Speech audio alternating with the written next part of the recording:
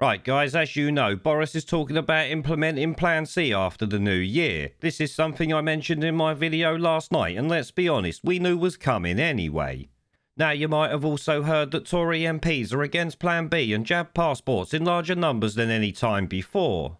This, you would think, would make Boris Johnson stop what he's doing, but it's not going to happen, and I can tell you why. At the end of the day, he's going to carry on and go for Plan B because they've got Labour, the so called opposition, doing all they can to push for more restrictions and saying they're going to vote alongside him, as you've likely heard at this point. This means he knows that they're going to vote for it in the House because they're singing from the same hymn sheet as I've said before. Literally two cheeks of the same arsehole at this point.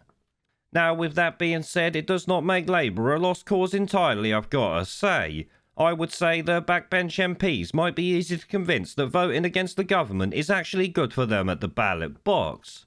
In fact, to test that, I might start emailing Labour MPs telling them voting against the government could well win them votes back.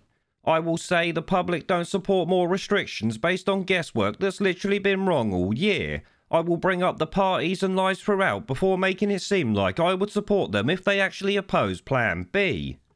Of course, I bloody won't support them regardless of what they do, but they've been lying to us for years, so why can't we do the same to them, is my thinking here. In fact, this is something you could literally all do as well, and it might well help at the end of the day. Businesses seem to be against Plan B and the government's lie, so we can use that against these MPs. The same is also true for backbench Tory MPs who have not already come out against it, which, let's be honest, there's still a fair few. Telling them it's anti-conservative and all of that should make them listen or you expose them as a corrupt commie bastard that they are. Either one is a good thing in my book, I've got to say. Now, as far as I'm aware, the government plans to bring this vote forward on Tuesday, so that gives us the whole weekend and the start of next week to put some pressure on these MPs. If you have the time and can be bothered, email your MP using the links in the comment section and video description.